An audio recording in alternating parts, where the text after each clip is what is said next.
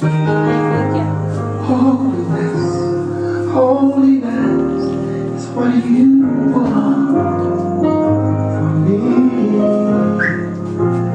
for me.